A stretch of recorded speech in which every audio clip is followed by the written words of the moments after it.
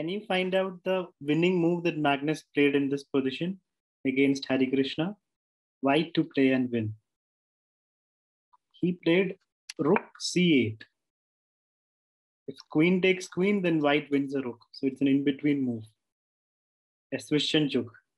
Now, after rook c8, black has to defend the rook with queen d6 or queen f6. And the game goes on into a winning endgame. Let's see how Magnus got there. He started with c4, the English. Harikrishna played e5, g3, which, which is very common. White wants to fianchetto the bishop on the king side. Pawn c6, d4, bishop check, bishop d2, takes, takes, d6, knight c3, knight f6, e4. So Magnus keeps good control of the sender. Now knight e2, b5. Is it a free pawn? Takes, takes. If you take the pawn, what will happen? Black will take the center pawn. We don't want to take a wing pawn for, for a center pawn, right? So Magnus plays a3, stopping b4, pawn a5, planning to play b4 at all costs. Bishop g2. Now Magnus is threatening to take the pawn. So Harikrishna again puts pressure on e4. So Magnus just castles. Harikrishna plays b4, taking the knight, takes, takes, and knight d5. Takes, takes, queen b6. Takes, bishop takes back, and takes, and takes. So Magnus has an isolated pawn in the center, but the isolated pawn is also blocking opponent's bishop, and it, it's a pass pawn, right? So this can be an advantage as well. Pawn g4. This is a brilliant move. Can you find out why this move was played? What is the purpose of this move? The world champion plays g4 to activate the knight, either this way or to e4. If you go one move back, the knight has no good squares.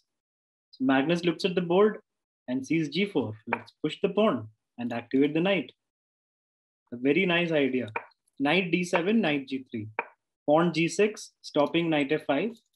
So knight, I'm sorry, rook c1. First he develops a rook. Rook d8 and knight e4 getting the knight into the game. This pawn can still be a good advantage. If it gets to push forward and the rook can get in and the queen can get in, it should look good.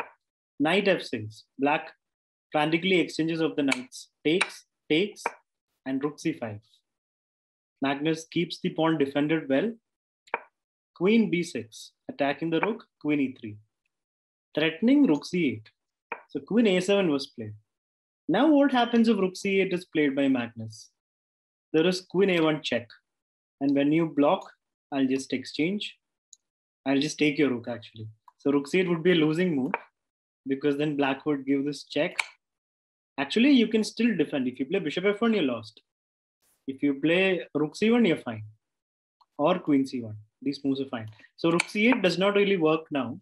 So Magnus plays queen c1, preparing rook c8 bishop b7, pawn h4. So Magnus now creates some weaknesses on the king side for black. Queen b6, pawn h5.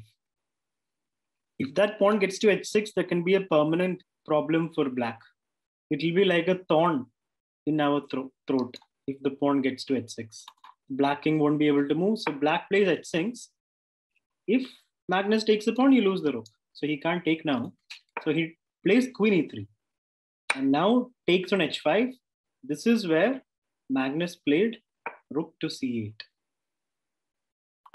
Black defends, Harikrishna defends the rook, but then takes, takes, and Magnus gets back on h6. But bishop takes on d5, and queen comes back to d2. Magnus is winning a piece. So here, if bishop does not take, he could also have played something like h takes g4. But then bishop e4, and it's a great position for white. Black's bishop is cut off. So bishop h7 is a threat. King moves, bishop g6, king moves, queen h7, king f8, and queen f7 meet. So that's a big threat. So that is why Harikrishna decided to take on d5, giving up the piece. After queen d2, no way to defend the bishop.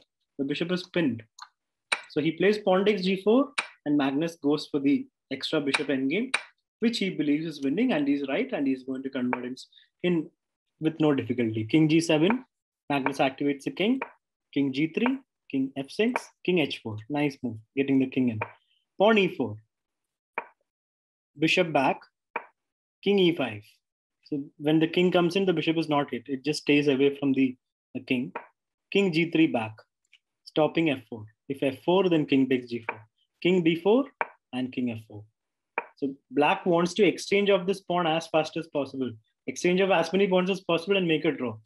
Takes, pawn e3, takes, takes, and take. And here, if you take, I would have taken it without much thought if I was not careful. If you take, it's a draw. If you take that pawn, then b3, and black is going to pick up this pawn. The white bishop is useless practically, right? So for example, if bishop comes here, just king d2. And if bishop takes, king c1, and the pawn is gone. So uh, it is very important to not take on g4, and Magnus is not going to make such an elementary mistake. He plays b3, a very nice move. And here Harikrishna resigned because the bishop is just going to defend the pawn, and this pawn is anyway going to fall.